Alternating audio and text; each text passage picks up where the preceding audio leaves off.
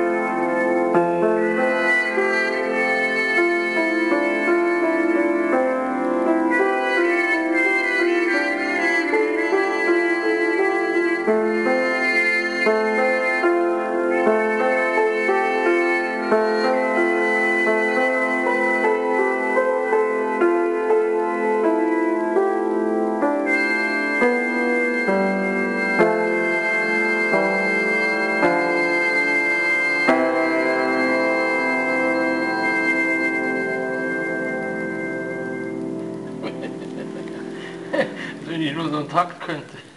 Hm? Jetzt wenn ich doch noch einen Rhythmus kennt oder irgendwas. Das ist Jazz. Jazz. Ja.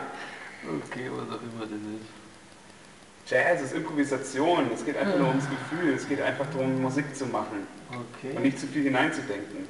Ja, vielleicht sollte ich einfach mal.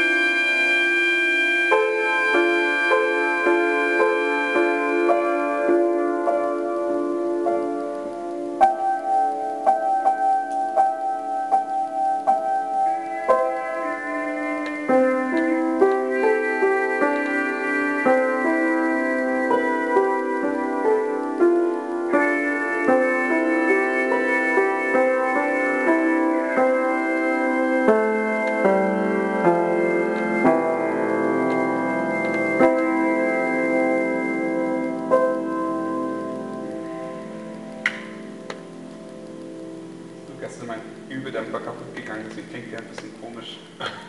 naja. Und ohne Dämpfer spiele ich hier nicht.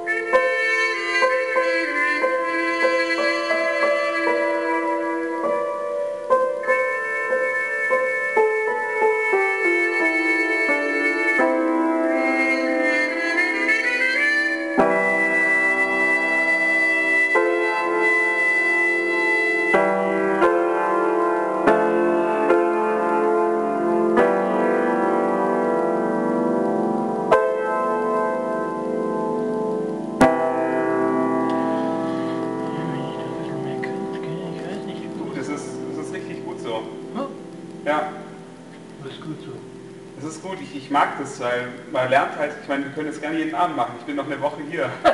Ich auch. Ich auch. Aber ich kann gar nichts.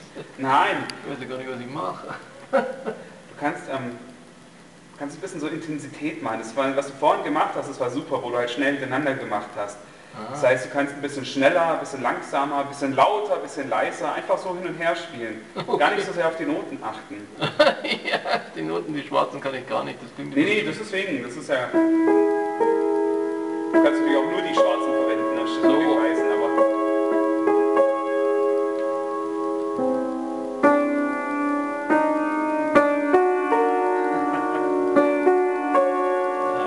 Versuch mal nur die schwarzen zu verwenden.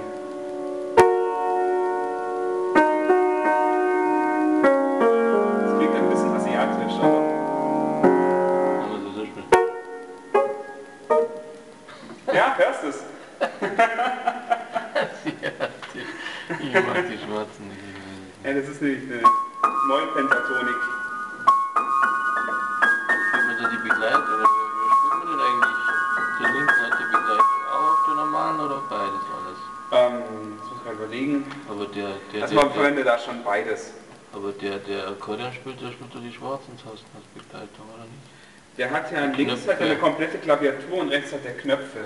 Und die Knöpfe sind sogar sagen, was du in der linken Hand schon machst, die Akkorde. Ah, die sind festgelegt schon. Ja, genau. Das heißt, wenn der einen Knopf drückt, kommt halt das dann raus.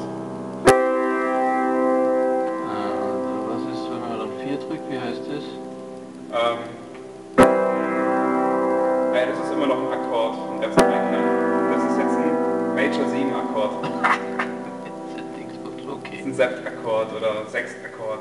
Ah, okay, okay, da kenne ich mich nicht aus. Ich weiß nicht. Nee, aber ich meine an für sich, das Lustige, was du halt machst, ist extrem viel Jazz.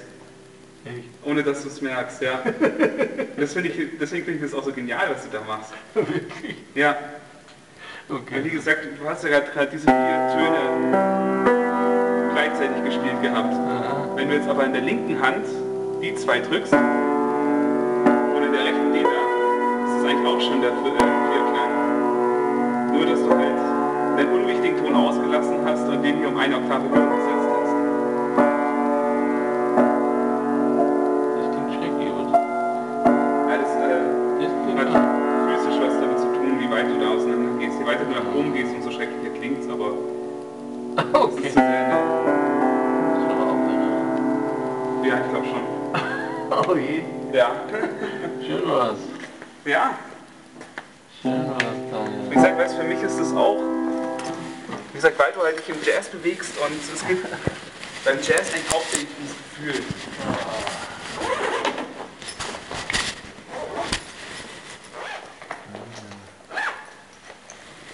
Und es geht dann wirklich nur darum, weißt du, machst ein bisschen intensiver, dann mach ich ein bisschen intensiver, dann werde ich leiser, dann wirst du leiser, dann wirst du lauter, dann werde ich lauter und Ah. das ist eigentlich so ein Hin- und Herspiel mit den Gefühlen. Wenn wir denselben Rhythmus spielen würden dann auch. Ja, aber ich meine, so hat es auch was Verträumtes, so hat es was. Ätherisches. Ich habe keinen Rhythmus gespielt. Ich meine, das Lustige im Jazz ist, es klingt ja auch, wie als ob die Leute keinen Rhythmus hätten. Aber die haben das halt schon so intus mit dem Rhythmus, dass sie es dann mit Absicht verschieben. Das heißt, was du machst, ist eigentlich, es klingt profihaft, obwohl es eigentlich... Weil du traust dich halt einfach auch in die Tasten zu drücken. Das ist bei ganz, ganz vielen Klavierschülern das Problem, die trauen sich gar nicht. Die haben so Angst vor den Tasten und falsche Töne und du spielst halt einfach. Du machst halt einfach. Ja. Das ist genau die richtige Einstellung für Jazz. Ja. Gar nicht so viel nachdenken, einfach machen. Wie gesagt, den ersten Schritt zum Musiker hast du schon gemacht. Welchen? Du hast dich getraut zu spielen. Okay. Nee, wie gesagt, es gibt so viele, die so zaghaft spielen und das klingt dann auch nicht. Das hat auch mein Trompetenlehrer gesagt, lieber laut und falsch als leise und richtig. Weil wenn du mit überzeugendem Ton falsch spielst, denken die Leute, er ist richtig. So. Wenn du aber ohne überzeugenden Ton falsch spielst, dann denken die Leute so, der Stimmt richtig, nicht. oder? Da stimmt irgendwas nicht. Deswegen, gut, gute Nacht, Daniel. Nacht, Ciao. schlaf gut. Bis morgen. Bis morgen, ja. Daniel. is